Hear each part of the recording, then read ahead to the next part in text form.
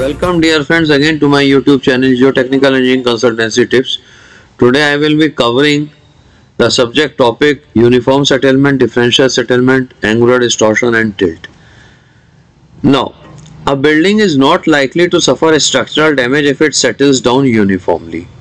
There are many instances of uniform settlement worldwide where buildings have settled down so much that the initial ground floor is now a basement in use and the building is now one story short that was originally designed because of the very reason कि एक floor हमारा one floor has settled beneath the ground in some other buildings where one had to go a few steps up in the past to enter it now has to descend a few steps down these buildings are still operational you must be surprised why they are operational because they underwent uniform settlement and are in serviceable condition still as yet. Such cases however require their utility services to be realigned. Now coming over to my next slide. Uniform settlement and differential settlement I will be explaining you with the help of two images. Uniform settlement does not cause any structural distress as the settlement produced is equal at all points. You must be seeing a figure in which ground level is marked as GL a building has been marked as a dark outlined line with the original level of foundation being shown at a certain depth below the natural ground level and the dashed lines show P as the uniform settlement occurring in this building and the level of foundation after settlement is being shown as another dashed line beneath the ground level. Similarly, on the in comparison to this left hand side figure, a right hand side figure is being made showing you the two footings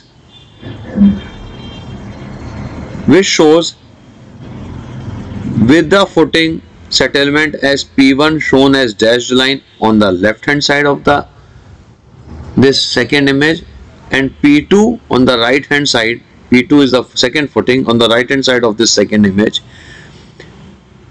this shows that the differential settlement between any two points is the difference in their total settlement produced at those very particular respective reference points as is being shown in this figure. So what you get, get to know is that delta P is P2 minus P1. P2 minus P1 is the settlement produced at the location of footing P2 minus the settlement produced at the location of footing P1. And if ever you want to calculate the angular distortion, this would be delta P divided by L where L is the distance between th these two respective footings P1 and P2. Now coming over to my third slide. Differential settlement, angular distortion and tilt. What is differential settlement? If one part of the building settles relatively more than or less than the other part, it is a cause of great concern. And this relative movement between parts of the building is known as differential settlement. Angular distortion is the ratio of the differential settlement to the distance between the two points, which I have just explained you in my previous slide. Tilt is such a form of non-uniform settlement where one side of the building settles more than the other.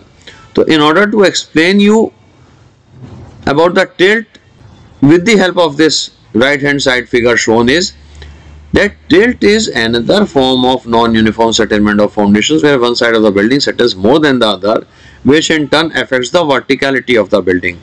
Here what you find is the entire building has tilted and a dashed rectangular section is being shown which depicts that at location P1